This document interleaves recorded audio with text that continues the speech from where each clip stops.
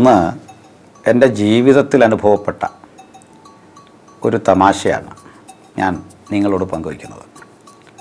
അത് കേവലം ഒരു നർമ്മമായി കാണണ്ട വളരെ വസ്തുതാപരമായ അപ്പോൾ തന്നെ ഒട്ടേറെ ചിന്തിക്കേണ്ട ഒരു വിഷയമാണ്.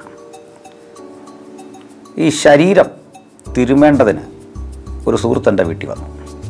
അദ്ദേഹത്തിന്റെ ജോലി അതാണ്. ഞാൻ അവിചാരിതമായി പരിചയപ്പെട്ട കനത്ത ശാരീരിക വേദനയ്ക്ക് നടുവിൽ ദേഹമാകെ തിരുമുക. ഒരു കായികാഭ്യാസിയാണ്. ഈ തിരുമിക്കഴിഞ്ഞ് എല്ലാ ദിവസവും അദ്ദേഹത്തിന്റെ ഫീസ് കൊടുക്കണം. അദ്ദേഹം പറഞ്ഞതിലും കൂടുതൽ പണം ഞാൻ ഓരോ ദിവസവും കൊടുക്കും. വലിയ തൃപ്തിയാണ്.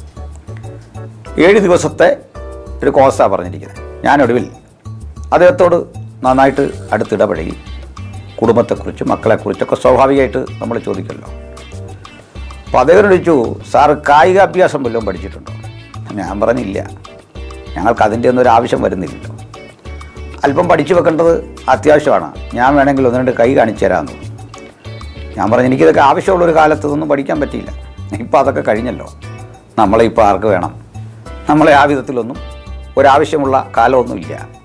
ആ എനിക്കെന്തോ അതിനോടൊന്നും അത്ര ഗൗരവമായിട്ട് അദ്ദേഹത്തോട് പ്രതികരിക്കണമെന്ന് തോന്നിയില്ല. ഒടുവിൽ സംസാരിച്ചു വരുന്ന വഴിക്ക് ഇദ്ദേഹം ഒരു കാര്യം പറഞ്ഞു. തെറുപ്പുവാളെന്ന് കേട്ടിട്ടുണ്ടോ പറഞ്ഞ് ചിത്രകഥയൊക്കെ വായിക്കുമ്പോൾ അങ്ങനെ ഒന്ന് കേട്ടിട്ടുണ്ട് കണ്ടിട്ടൊന്നുമില്ല. തെറുപ്പുവാളിന് വിട്ടു വന്നാൽ തടയുന്ന വിദ്യ ഞാൻ പറഞ്ഞു. തരാമെന്ന് തോന്നുന്നു അപ്പോൾ എനിക്കിതൊരു ആകാംക്ഷയായി. ഇതെന്തായിരിക്കും? തെറുപ്പുവാളിന് വെട്ടിയാൽ എങ്ങനെ തടയുന്നത്? പരിചയം കൊണ്ടൊന്നും പറ്റില്ല. അദ്ദേഹം പറഞ്ഞു തെറുപ്പുവാളിന് വെട്ട് വരുമ്പോൾ നമ്മൾ ചുരിയോ അല്ലെങ്കിൽ എന്തുവാ പറയുക? പരിചയം കൊണ്ടൊന്നും പറ്റില്ല. നമുക്കതിന്റെ സാങ്കേതിക പദങ്ങൾ പോലും അറിയില്ല. അദ്ദേഹം പറഞ്ഞ എന്റെ ഒരു വിദ്യയുണ്ട്. ഞാൻ ചോദിച്ചു എന്താണത് ഈ ഓലമടൽ എടുത്തിട്ട് ഈ വെട്ടുന്നവനെ വിലങ്ങി ഒരു തിരി തിരിക്കുക. അവന്റെ വാളെല്ലാം കൂടെ ഒടിഞ്ഞ് അവനൂടെ താഴെ വീഴുമെന്ന് പറഞ്ഞു. ഞാൻ പറഞ്ഞത് നല്ലൊരു ഐഡിയ ആണ്. താങ്കൾ പറഞ്ഞതിൽ ഏറ്റവും ഫലപ്രദമായൊരു ഐഡിയ ആണ്. ഇനി ആരെങ്കിലും ഈ തെറുപ്പുവാളം കൊണ്ട് എന്റെ നേരെ വരികയാണെങ്കിൽ ഞാൻ പറയും ഇവിടെ നീക്കി ഞാൻ ഓലമടൽ വെട്ടിക്കൊണ്ട് വരട്ടെ. ഇത് നേരിടണമല്ലോ. അപ്പോൾ ലോകത്തിലെ വിദ്യകളിൽ ഇത്തരം കുറേ വിദ്യകൾ മനുഷ്യൻ പഠിച്ചു വെച്ചിട്ടുണ്ട്. ഫലപ്രദമല്ലാത്ത ഒട്ടേറെ കാര്യങ്ങൾ അങ്ങനെ പണ്ട് നമ്മുടെ രാജ്യത്ത് ഈ ബ്രിട്ടീഷുകാർ നമ്മുടെ രാജ്യത്തിലേക്ക് ആധിപത്യം ചെലുത്തി വരുന്ന ഘട്ടത്തിൽ നമ്മുടെ ആളുകൾ ഇതുപോലെ അവരെ നേരിടാൻ പാകത്തിന് ഒത്തിരി തന്ത്രങ്ങൾ മനഞ്ഞു. എതിരാളി ചീറിയെടുക്കുമ്പോൾ നമുക്കൊരു യുദ്ധ രീതിയുണ്ട്. അത് കുറുവടി കൊണ്ടോ വടിവാൾ കൊണ്ടോ ഒക്കെ ഉള്ള ആ വെട്ടാണ്. അതിനുമുമ്പ് എതിരാളിയെ ഇങ്ങനെ നമിക്കും. നമിച്ചിട്ടാണ് യുദ്ധം ചെയ്യുന്നത്.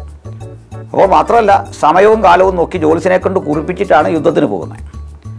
അപ്പോൾ ജോലിസം പറയണം ഇന്ന സമയത്ത് പോകണം അപ്പോൾ ജ്യോത്സ്യനോട് സമയം ചോദിക്കുന്നു. അപ്പോൾ ഈ യുദ്ധത്തിന് പോകുന്ന ആളുകളുടെ സ്ത്രീകൾ വ്രതം നോക്കും. അവരുടെ തത്തുല്യ തൂക്കം കദളിപ്പഴമോ മറ്റെന്തെങ്കിലും കാര്യങ്ങൾ ദേവന്റെ ആ ക്ഷേത്രത്തിൽ കൊണ്ട് അർപ്പിക്കും. ഒത്തിരി ചടങ്ങാണത്. അപ്പോൾ ശത്രു സംഹാര പൂജ രാഷ്ട്രം നടത്തും. വലിയ യുദ്ധമല്ലേ? അപ്പോൾ സമയം നോക്കി ശത്രു സംഹാര പൂജ നടത്തി സ്ത്രീകൾ വ്രതം നോറ്റു. വാളിന്റെ അഭ്യാസവും പരിപാടിയൊക്കെ ആയിട്ട് ഇവർ കടകം മറിഞ്ഞ് അതിന്റെ ആ താളവും രീതിയൊക്കെ ഉണ്ടല്ലോ. നമുക്കതൊന്നും അങ്ങനെ അറിയില്ല. അങ്ങനെ വെട്ടി ചാടി. ഇതെല്ലാം കണ്ട് സായിപ്പന്മാരായ പടയാളികൾ അപ്പുറം നിൽക്കുക. അവരെ ഇങ്ങനെ വണങ്ങുന്ന കണ്ടു. ഇവരും ഇങ്ങനെ കൈക്കൊന്ന് കാണിച്ചു. ഏതായാലും വിസിൽ മുഴങ്ങി. അപ്പുറത്ത് വിസിൽ മുഴങ്ങി ഇവിടുന്ന് പരിചയം കൊണ്ട് ചെല്ലുമ്പോൾ സായിപ്പ് തോക്കെടുത്തു. തോക്കെടുത്ത് കാച്ചിയപ്പോൾ ആ മുഴുവൻ അഭ്യാസികളും പത്ത് ഇരുപത് പേരെയൊക്കെ അടിച്ച് താഴെ ഇടുന്ന വെട്ടിക്കൊലപ്പെടുന്ന മുഴുവൻ പേരും വീണു. അപ്പോൾ ഒരു കാര്യം ഓർക്കണം. ശത്രുസംഹാര പൂജ നടത്തി. സമയം നോക്കി ജ്യോത്സ്യനെ കൊണ്ട്. ചുവട് കൃത്യമായിരുന്നു. എന്താ പുലിയങ്കോ? ഇങ്ങനെയൊക്കെയാണ് പറയുന്നത്. ഇതെല്ലാം കൃത്യം നടത്തി. അപ്പോൾ നിയമമെല്ലാം പാലിച്ചു. അപ്പോൾ ജീവിതത്തിൽ ഒരിക്കലും ശത്രുസംഹാര പൂജ നടത്തിയിട്ടില്ലാത്ത സായിപ്പ് സൂര്യവന്ദനം എന്താണെന്ന് അറിയാത്ത സായിപ്പ് തോക്കെടുത്ത് കാച്ചിയപ്പോൾ ഇന്ത്യ മുഴുവൻ അവന്റെ കയ്യിലിരുന്നു. അതല്ലേ സംഭവിച്ചേ? ഞാനിതൊരിക്കൽ ഒരു ചർച്ചയിൽ രാഹുലീശ്വറുമായിട്ട് സംസാരിച്ചപ്പോൾ പറഞ്ഞൊരു കാര്യമാണ്. അദ്ദേഹം ചിരിച്ചുകൊണ്ടാണ് പ്രതികരിച്ചത്. ഇതിന്റെ അർത്ഥം ചിലരം വിദ്യകൾ നമ്മൾ കരസ്ഥമാക്കി വെച്ചിട്ടുണ്ട്. അത് കാലഹരണപ്പെട്ടു പോയി കഴിഞ്ഞാൽ അത് പിന്നെ കൊള്ളൂല. ലോകത്തിലെ മിക്ക കാര്യങ്ങൾ അങ്ങനെയാണ് അപ്പോൾ ഞാൻ എന്തിനാണിത് പറഞ്ഞു തരണ്ടേ നിങ്ങൾ കാലത്തിനൊത്ത് സഞ്ചരിക്കണം. കാലത്തിന്റെ ആ സ്പന്ദനം തിരിച്ചറിഞ്ഞ് വേണം പഠിക്കാൻ കുഞ്ഞുങ്ങൾ. കുട്ടികളെ പഠിപ്പിക്കാൻ. ആത്മീകന്റെ ജീവിതത്തിലും സാധാരണക്കാരന്റെ ജീവിതത്തിലും കാലത്തെ അങ്ങനെ അഭിസംബോധന ചെയ്യാനുള്ള ആർജവമാണ് ഉണ്ടാകേണ്ടത്. അതിൽ കാലത്തിന്റെ വെല്ലുവിളികളുണ്ട് ജീവിതത്തിന്റെ വെല്ലുവിളികളുണ്ട് പരിതസ്ഥിതികളിൽ നിന്നുരുത്തിരിക്കുന്ന ചോദ്യങ്ങളുണ്ട്. ഇവയ്ക്കെല്ലാം മറുപടി പറഞ്ഞ് പറഞ്ഞു പോകുന്ന ഒരു ജീവിതമാകണം വിജയിക്കുന്നവന്റെ ജീവിതം. അതിന് തോറ്റവനെ കണ്ട് പഠിക്കരുത്. പക്ഷെ തോൽവിയിൽ നിന്ന് പാഠം പഠിക്കണം. കാരണം തോൽവി ഒരു പ്രചോദനമാണ്. മുറിവറ്റ മനസ്സുകൊണ്ടുള്ള യുദ്ധത്തിന് ആക്കവും വീര്യവും കൂടും. അവൻ അമിത ആത്മവിശ്വാസമില്ല. പ്രാണൻ വെച്ചാലും വിജയിക്കണം. ഈ രീതിയിൽ മുമ്പോട്ട് പോകും.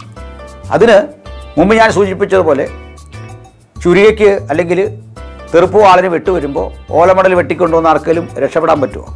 അങ്ങനെ കൈ കാണിച്ചാലൊന്നും പോവില്ല. അതാണ് സത്യം.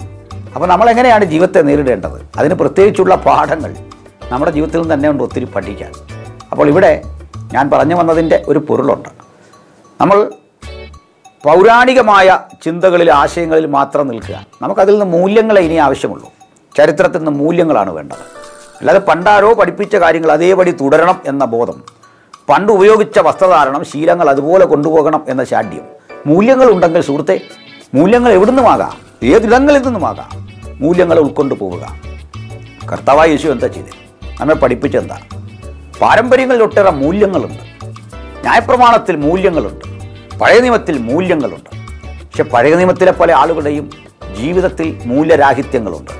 ആ ശരിതെറ്റുകളുടെ മുഴുവൻ സങ്കലനത്തെ വേർതിരിച്ചെടുത്തു. വേർതിരിച്ചെടുത്തിട്ട് കാമ്പായുള്ളത് കഴമ്പായുള്ളത് ഉള്ളടക്കമായുള്ളത് നമുക്ക് തന്നിട്ട് പറഞ്ഞു. അത് ചെയ്യുകയും ഇത് ചെയ്യാതിരിക്കുകയും വേണം.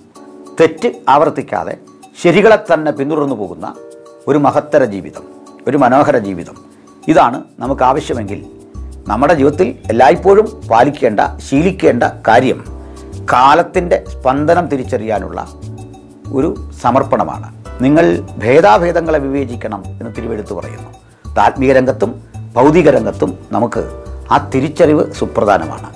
അങ്ങനെയുള്ള തിരിച്ചറിവ് നമുക്ക് മാത്രമല്ല സമൂഹത്തിനും നമ്മെ അനുകരിക്കാൻ പ്രേരിപ്പിക്കത്തക്ക വിധം നാം നൽകുന്ന വിലപിടിപ്പുള്ള സംഭാവനയാകും. ഈ ഓർമ്മപ്പെടുത്തലോടെ നമ്മുടെ ഇന്നത്തെ ചിന്ത പര്യവസാനിക്കുന്നു. ആധുനിക സാങ്കേതിക വിദ്യകളുടെയും മികച്ച സാങ്കേതിക പ്രവർത്തകരുടെയും പിൻബലത്തിൽ ക്രിസ്ത്യൻ ലൈവ് ഇന്ത്യയിൽ എവിടെ നിന്നും ലൈവ് ടെലികാസ്റ്റിംഗിന് ആരംഭം കുറിച്ചിരിക്കുന്നു. For more details contact nine eight four six double five double two two zero